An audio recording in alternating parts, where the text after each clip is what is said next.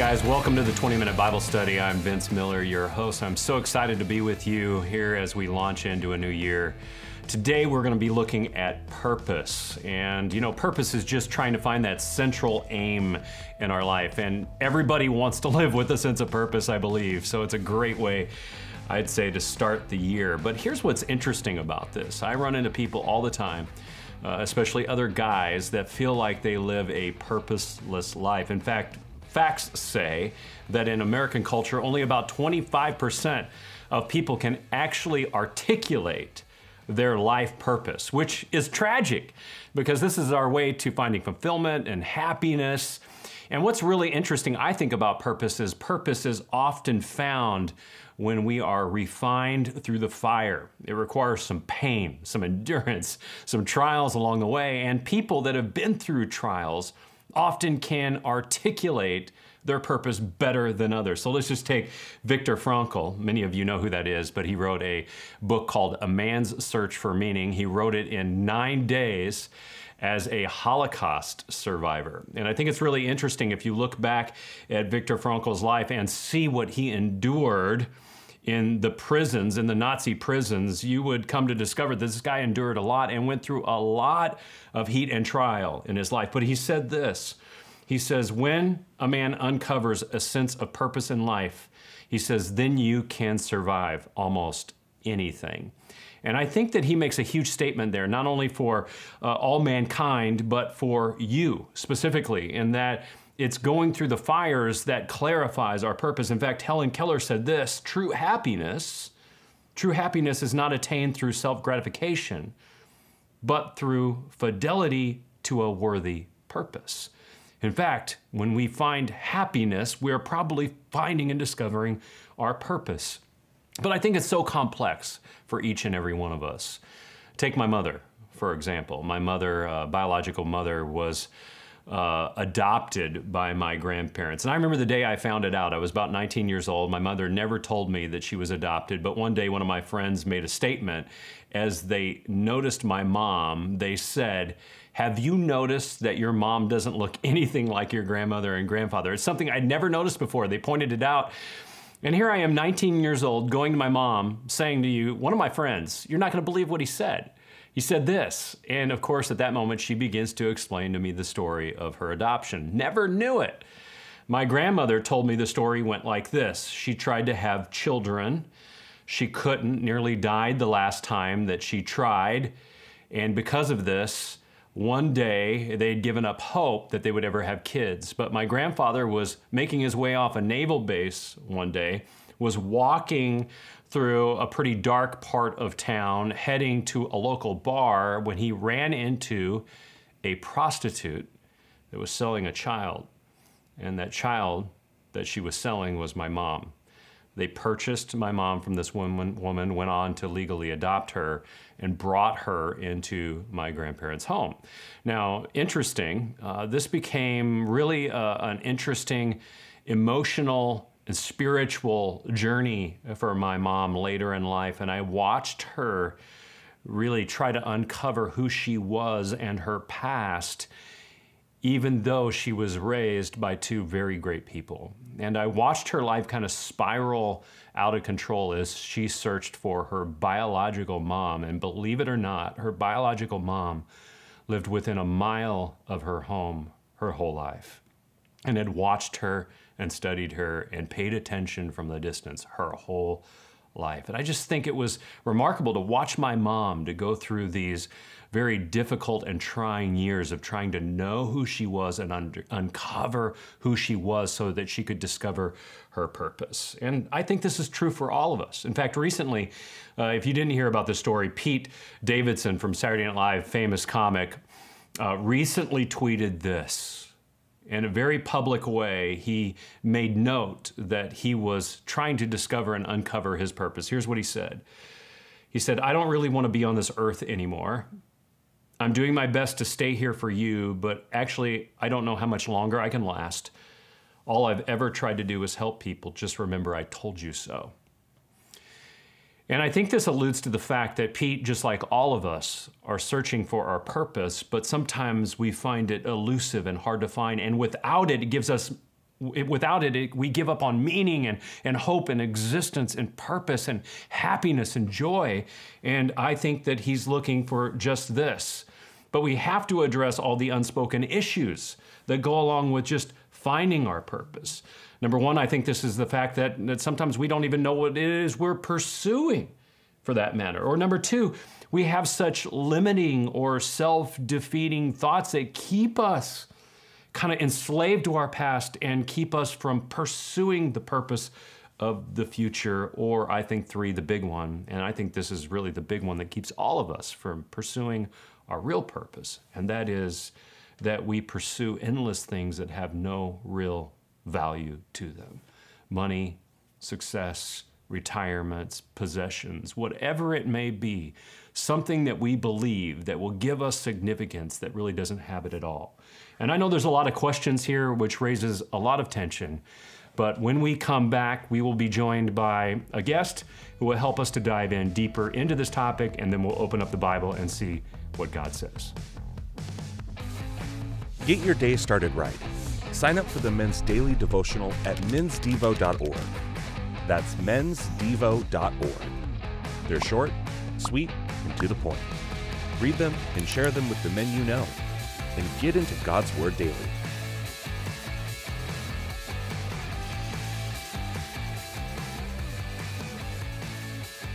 Well, man, welcome to the 20. Scott, good to have you with us. Yeah, thanks for having me. I know we've had you here before, but that you kind of are our token Hebrew and Greek nerd. You know that, right? Like, uh, well, I'll accept that. Yeah. Thank you. That's you very kind you're, of you because I know you're a Hebrew and Greek nerd as well in some right. ways. Yeah, that's right. I, I, tend not to tell people that because they're kind of like they don't even know what that means. Okay. But you know, for the most part, I think you can learn so much by deep digging in deeper to the text. Right, Scott? Yeah. I'm glad to have you with us. I know that you also lead a ministry effort called Empowering Ranch and you are almost we'd call you a part-time counselor of yep. men and women as yep, well, yep. right? Absolutely. Yep. Yeah, we got a lot to bring to the table today. I, you know, we teed this whole thing up by talking about purpose, right? And I think that people out there are really looking for purpose, trying to understand it, trying to uncover it. Uh, how do you see people trying to understand or uncover their purpose in life? What are the typical patterns that you see from? I think mainly busyness. Hmm. I think when people are trying to find it and can't find it, or even if they are trying to find it, they just keep trying harder and harder and keep going faster and faster and faster. And I think it just kind of becomes like a hamster wheel, right? Like yeah. at some point, we've got to stop and retool. Yeah, exactly. but it, it, feels like people just keep trying harder and harder. I mean, we're Americans are working harder and longer than any people in the history of the world. Hmm. Well, that's got that's really a humbling fact right there. Yeah. And it obviously it doesn't work. Yeah. I mean, you're probably meeting with people all the time who feel like they're kind of running the rat race, and it's not very helpful to just try harder and to move faster. Yeah. Right. Yeah. It actually, uh, uh, when I do talk with people, it feels like there's no margin for for a lot of things. I mean, God being one of the biggest ones. Yeah. And so, like, when we're, we're trying to uncover what purpose really is, it sounds like busyness is not the answer. Working harder not is not the answer. What do you tell people? Like, when they come to you, I mean, how do you get them to uncover a sense of purpose in their life? What's, what's the path to doing that? I think a person has to take a look at their uniqueness because yeah, we're all humans, but we're all very different. Like I was even thinking, I don't even know why I was thinking about this on the drive over, but I was thinking about my Wells Fargo bank accounts oh, and yeah. how I've labeled the five different accounts something different mm-hmm. and how we're applying for something at the bank right now and they're probably like going, man, this guy's got bizarre titles on his accounts. And like, why does he have this much money in this account and this much money in that account? Like, what is this guy? Like, we're all that unique. And so I think we need to take a look at our uniqueness and partially become okay with it because so often people see somebody they respect and then they just try to be like them. And that's, that's missing the point. I mean, yeah. we're, we're in the image of a creative God and he wants us to be uniquely us. Yeah. exactly. And so some of it is probably found down that path of like uncovering our uniqueness. Um, it's, it seems like when I look out at the world today that people are very, very busy. Like I, I would, I would agree with you. I think that as I meet people today, they are far busier today than they were when I was a kid, for Yeah. example. And I would assume that we look decades in the past, they are far more busier today than we were decades ago. Yeah, yeah. So the challenge becomes not only is there busyness on top of this, but we're we're pushing into our purpose the wrong way. Mm. We're trying to discover it the wrong way. I mean, you you seem to be a guy who lives life with a lot of intentional purpose, and because I know you, I can speak from that perspective. But Yeah. how did you find your purpose? Well, I would say it was uh, it was a long journey. I'm talking a good 22 years before some of the pieces really started to kind of come together. Okay, I want to I want to hear more about that. Okay, Okay. so it, it, 22 years of like confusion and busyness Oh, and yeah. rat race. Okay, Oh yeah, yeah. All right. So I mean, 18 years old. Well, and one thing I could back up and say quickly is that if you want to hear more about my story, I did some podcasts with Vince, Yeah. Vince on sexuality. And I tell my story in the first one and how I had gotten myself into a lot of sexual bondage young. And so by the time I turned 18, I'm not even really thinking about purpose. I'm so stuck in my bondage that that's my focus. When instead of being able to think about purpose at 18, I'm spending time doing other things. And so I think that can block purpose too. Mm-hmm. If people are in bondage, they're not going to be able to even really think about it clearly. So I spent 18 to 40, so it was Bible college, seminary. Then, you know, I had the degrees to do uh, ministry, but I didn't have the character because I'm still stuck in sexual addiction. And so I spent probably until I was 32. I finally got into some recovery groups when I was 32 and spent the next two years recovering. So now I'm probably 34 ish. And now I'm starting to really wrestle with what is my purpose once I got enough freedom to enter that conversation. And then I spent from 34 to 40 going through lots of different jobs. I had, yeah, anyways, that's Yeah. more story there. Finally realizing at 40, not that I was perfect, but I had enough character to enter in. And so at 40 is when we started Empowering Ranch because we felt like we were at the point where God was saying it's time to Yeah. enter. So God kind of let you. You kind of feel like God let you live out your purposes after He did some business with some bondage, with Yep. developing some skill, with developing some character. Man, I think that is a super interesting timeline. And let me just comment on that in a second. I think that that is interesting because I think most people's journeys would emulate that, maybe in different frames of time, but the markers would probably be very similar. We have to kind of do some business with sin Yep, right? yep. Got to do some business with character, business with skill before we ever really get to the place where we can actually live fully or maybe completely in our purpose. God has got some work to do. So, Yep, yep. with this, I want to read a couple of verses Cool. today and kind of dive into some Bible right. study. But All right. uh, I think these verses are remarkable. Okay, and uh, you know this is a Psalm of David. I know you're a little bit of a David geek, Yep, right? So uh, I know you love Hebrew, so we're going to be reading not from the Hebrew Bible, but from the English Bible that was written originally in Hebrew. Yep. So here's what it says in Psalm 139, verse uh, 13. It says, "For you formed my inward parts; you knit me together in my mother's womb." I praise you, for I'm fearfully and wonderfully made. Wonderful are your works. My soul knows it very well. I think that has a lot to say about purpose, right? I mean, I th- think a text like that, David is is helping us to see his purpose in a very unique way. I mean, when you read words like that, what jumps off the page at you here? Well, what jumps off to me is that he's not talking about a job. okay? right, yeah. So like people are always thinking about their their purpose and sometimes I like to say that jobs are assignments. Mm-hmm. And so a lot of times people mix their purpose and their jobs or their assignments. And I would say actually it might be a good idea to keep them separate because he's not talking about a job here. He's talking about this identity of you knew me in my mother's womb. And that word know is uh, yada. Actually Seinfeld, they went to the bedroom, yada yada yada. That's Yeah, the yeah, same yeah, word because Jerry's Jewish, Yada, right? yada, so yada, yada, yeah, yeah, yeah. So like they're referring to the Hebrew word to know for knowing, know. and Adam knew Eve, and she got pregnant. So knowing is not about intellect and knowledge, and that's usually how people approach the Bible. Is I just need to know more about the Bible. I need to. And that's not what knowledge in the when for lack of knowledge my people perish for lack of intimacy my pe- people perish. That's the heart of that knowledge, and and I love the fact that that's where he lands for purpose is on being intimately known by his mother and by God. Mm-hmm. So that soul knowing is a big piece of really understanding purpose. And I love, and I think we need to make this point because I think it's super important that sometimes when we're looking for purpose, we conflate our let's say macro purpose with a micro purpose Yeah. and that micro purpose being our vocation right yep. and i think some people out there who are looking for purpose today are kind of saying i'm looking for the right job i'm Yeah. looking for the right life work Yep, right yep. and i think that pursuit is fair There's some Yeah. validity to that. yeah, there's all kinds of validity to it. But the problem is if we pursue that without really understanding that, let's call it macro purpose or having that